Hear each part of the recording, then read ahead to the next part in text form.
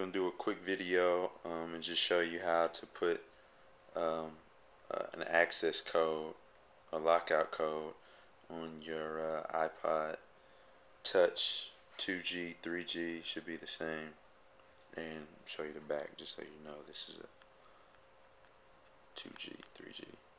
Anyway, um, so you're gonna open it up, go to settings, go to general, and scroll down general. You'll see passcode lock. Right now you see that it's off. I don't know if you can see that. Passcode lock. Click there, and just set a passcode. I'm gonna just say one, two, three, four. It'll ask you to re-enter the passcode. One, two, three, four. And now you have a passcode. So I'm gonna turn it off and just show you what you have to do.